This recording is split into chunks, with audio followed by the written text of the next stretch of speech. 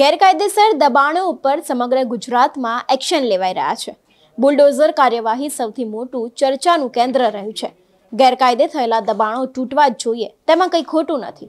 પરંતુ અમે આપને એક એવા દબાણની વાત કરીશું, જેમાં કાયદાના રક્ષક જ જાણે ભક્ષક બન્યા છે.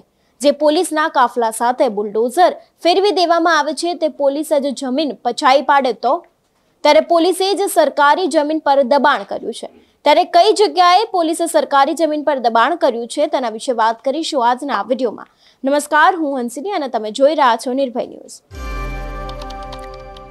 જે કાયદાના રક્ષકો છે, જે પ્રજાને અપરાધીઓની ચુંગાલમાંથી છોડાવવાનું કામ કરે છે, જેણે ખોટું કર્યું છે તેને પકડીને સજા આપવાનું કામ કરે છે, તે જ પોલીસ જો ખોટું કરે તો? હા પોલીસ જ ખોટી રીતે કોઈ જમીન ઉપર દબાણ કરી લે, તો શું કાર્યવાહી થવી જોઈએ? જે અમદાવાદ પોલીસ શહેરમાં થયેલા ગેરકાયદે દબાણો દૂર કરવામાં અમદાવાદ કોર્પોરેશનની મદદ કરે છે, તે કોર્પોરેશનની કરોડોની જમીન પર પોલીસે કબજો જમાવી લીધો છે. એએમસીની માલિકીના અનેક પ્લોટ પર પોલીસે કબજો જમાવી લેવાના ગંભીર આરોપો પોલીસ પર લાગતા ખળભળાટ મચી ગયો છે.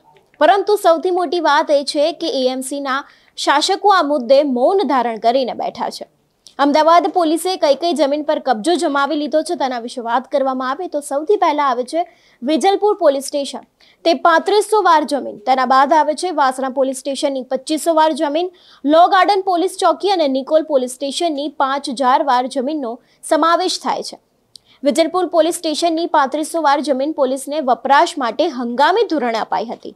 પરંતુ હાલ ત્યાં પોલીસ સ્ટેશન બાંધી દેવામાં આવ્યું છે. ત્યારે વાસણા પોલીસ સ્ટેશનની પચીસો વાર જમીન વર્ષો પહેલા પોલીસના ઘોડા બાંધવા માટે અપાઈ હતી, પરંતુ ધીમે ધીમે ત્યાં કાચું બાંધકામ કરીને પોલીસ ચોકી બનાવી દેવાય છે. હાલ તો ત્યાં પોલીસ સ્ટેશનનું નિર્માણ પણ થઈ ગયું છે. લો ગાર્ડન પોલીસ ચોકી પણ ગેરકાયદે ઊભી થયેલી છે. ફૂટપાથ પર કોઈ બાંધકામ થઈ શકતું નથી. પણ પોલીસને કોણ કહે? અહીં ફૂટપાથ પરથી આખી પોલીસ ચોકી ઊભી કરી દેવાય છે. તો સૌથી વિવાદિત સ્થળ નિકોલ પોલીસ સ્ટેશનની જો વાત કરવામાં આવે તો એમસીના પાંચ હજારનો વારનો આ પ્લોટ હંગામી ધોરણે અપાયા બાદ પહેલા પોલીસ ચોકી બનાવવામાં આવી. પછી કામે પોલીસ સ્ટેશન બનાવીને રીતસરનો કબજો જમાવી લેવાયો છે. આ જગ્યા પર એએમસીએ ગરીબો માટે એક હજાર એકસો ને એસી આવાસ બનાવવાનો વર્ક ઓર્ડર પણ બે હજાર બાવીસમાં આપી દીધો હતો. પણ હજી સુધી કબજો છોડાયો નથી. જેના કારણે એએમસીએ બે હજાર ચોવીસમાં નિકોલના બદલે નરોડામાં આવાસો બનાવવાનો નિર્ણય લેવો પડ્યો હતો. સરકારના બે વિભાગો વચ્ચેની આ લડાઈમાં પ્રજાના પૈસાનું પાણી થઈ રહ્યું છે. જે પ્રજાના પરસેવાની કમાણીની આ જમીનો છે તેના પોલીસ ગેરકાયદેસર કબજો જમાવીને લે છે. તો હવે ફરિયાદ કોને કરવાની? કારણ કે હવે રક્ષક જ ભક્ષક બન્યા છે.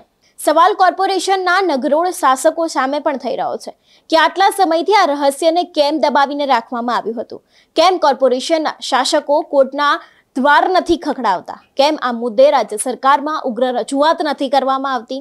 જો કોઈ વ્યક્તિ આ પ્રકારે દબાણ કર્યું હોય તો પછી જમીન પચાવી હોય તો તેની સામે લેન્ડ ગ્રેબિંગ એક્ટ અંતર્ગત કાર્યવાહી થાય છે. તો પછી અમદાવાદ પોલીસ સામે ક્યારે આ કાર્યવાહી કરવામાં આવશે ને ક્યારે તેમના ઉપર લેન્ડ ગ્રેબિંગની કલમ ઉમેરવામાં આવશે તે હવે જોવાનું રહ્યું.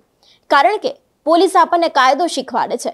પોલીસ જે ખરાબ કર્યું હોય છે, જે આરોપી હોય છે, તેને પકડવાનું કામ કરે છે. પરંતુ હવે તે જે લોકો સરકારી જમીન પચાવી રહ્યા છે, જ્યાં કોઈકના મકાન બનવાના હતા.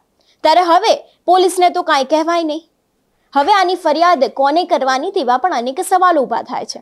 દાદાનું બુલડોઝર દરેક ગેરકાયદેસર જમીનો ઉપર ચાલી રહ્યું છે. ત્યારે આજે ચાર પોલીસ સ્ટેશન છે, તેમાં પણ ગેરકાયદેસર જમીન પોલીસે પચાવી પાડી હોય તેવા ઘટના બહાર આવી છે. આ વિષયને લઈને આપનું શું કહેવું છે, અમને કમેન્ટ કરીને ચોક્કસથી જણાવજો. સાથે જ નિર્ભય ન્યૂઝને લાઇક શેર અને સબસ્ક્રાઇબ કરવાનું ભૂલશો નહીં. નમસ્કાર.